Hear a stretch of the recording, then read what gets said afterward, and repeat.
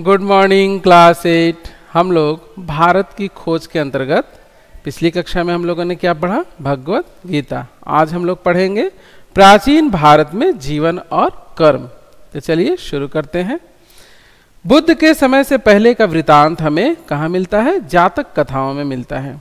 इन जातक कथाओं का वर्तमान रूप बुद्ध के कुछ समय बाद का है। जातक कथाओं में उस समय का वर्णन है जब भारत की दो प्रधान जातियों, कौन कौन द्रविड़ों और आर्यों का क्या हो रहा था? अंतिम रूप में मेल हो रहा था।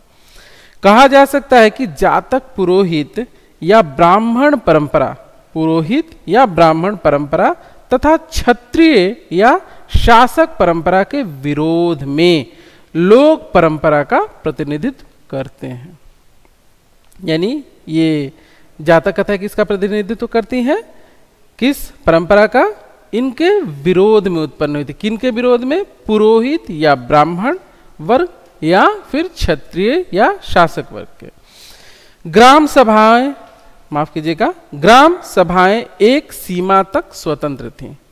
यानी कुछ हद तक वो स्वतंत्र थी।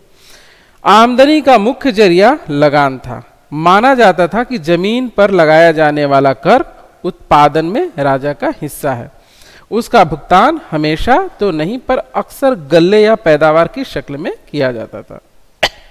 यह कर उपज के छठे भाग के करीब होता था। यह सभ्यता मुख्य रूप से कृषि केंद्रित थी और इसकी बुनियादी इकाई स्वशासित गाँव थे। राजनीतिक और आर्थिक ढांचा इन्हीं ग्राम समुदायों से बनाया जाता था। इन्हें दस दस और सौ सौ के समूहों में बांट दिया जाता था। जातकों के वर्णन से, माफ़ कीजिएगा, जातकों के वर्णनों से एक खास तरह का विकास उभर कर सामने आता है। यह विशेष दस्तकार्य से जुड़े लोगों की अलग बस्तियों और गाँवों की स्थापना थी। इस समय एक गाँव बढ़ियों का था, यानी जो बढ़ई का काम करते हैं तो बढ़इयों का था। एक गाँव लोहारों का था। इस तरह और पेशों के लोगों के गाँव थे, यानी ये कार्य के अनुसार समूहों का विभाजन कर दिया गया था। ये खास पेशेवर लोग लोगों के गाँव आमतौर पर शहर के पास बसे होते थे। शहर में उनके विशेष उत्पादनों की खपत हो जाती थी। यानी जो ये लोग बनाते थे, इनके उत्पादों की खपत कहाँ होती थी? शहरों में हो जाती थी और ये शहरों के आसपास इनकी बस्तियाँ गाँव बसाए जाते थे। और बदले में इन्हें ज़िंदगी की दूसरी जरूरतों को पूरा करने का सामान मिल जाता था। ऐसा लगता है कि पूरा गाँव सहकारिता के उसूल पर काम करता था और बड़े ठेके लेता था। शायद इस तरह अलहदा रहने और संगठित होने से जाति प्रथा का विकास और विस्तार हुआ होगा। यानी अगर हम कह सकते हैं तो इस तरह से लोग अलग अलग अपने समूहों में अपने कार्य, जो लोग काम करते थे, जैसे बढ़इयों का काम, लोहारों का काम इत्यादि तो उस तरह से क्या हुआ होगा? जातियों का उदय हुआ होगा, यानी जाति प्रथा का विकास हुआ होगा। जातकों के सौदागरों की समुद्री यात्राओं के हवाले भरे पड़े हुए हैं। सूखे रास्तों से रेगिस्तान को पार करके भड़ौच के, जो गुजरात में है तो भड़ौच के पश्चिमी बंदरगाह के उत्तर में गांधार और मध्य एशिया का कारवां जाया करते थे। भड़ौच से जहाज़ बेबीलोन के लिए फारस की खाड़ी को जाया करते थे, नदियों के रास्ते बहुत यातायात होता था। जातकों के अनुसार बेड़े, बनारस, पटना, चंपा, यानी भागलपुर, और दूसरे स्थानों से समुद्र की ओर जाते थे, और वहाँ से दक्षिणी बंदरगाहों और लंका और मलय टापू तक जाया करते थे। यानी हम देखते हैं कि किस तरीके से व्यापार होता था। उस समय का व्यापार किन किन मार्गों से होता था। भारत में लिखने की प्रथा बहुत पुरानी है।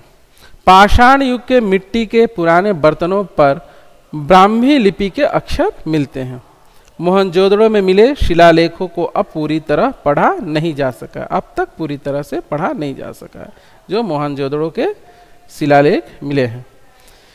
वे ब्राह्मी लेख जो पूरे भारत में मिले हैं, निश्चित रूप से उस मूल लिपि में से हैं, जिससे भारत में देवनागरी और अन्य लिपियों का विकास हुआ है।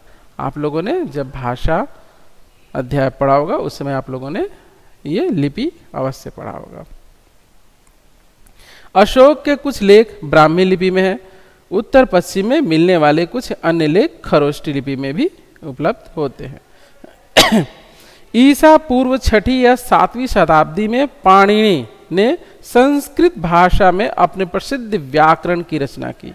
उन्होंने अपने से पहले के व्याकरणों का उल्लेख किया, उनके समय तक संस्कृत का रूप स्थिर हो चुका था। और वह एक निरंतर विकासशील साहित्य की भाषा बन चुकी थी। पाणिनि आज भी संस्कृत व्याकरण पर आधारित, माफ़ कीजिएगा, व्याकरण पर आधिकारिक प्रमाण माना जाता है। हालाँकि बाद में व्याकरणों में उनके कुछ जोड़ा भी है। और उनकी व्याख्या भी की है। यह दिलचस्प है कि पाणिनि ने यूनानी लिपि का उल्लेख किया है। इनमें संकेत मिलता है और पूर्व दिशा में सिकंदर के आने के बहुत पहले भारत और यूनान के बीच किसी न किसी तरह की, किसी न किसी तरह का संपर्क हो चुका है। तो आज की कक्षा में इतना ही। अगली कक्षा में हम लोग बाकी का भाग पढ़ेंगे।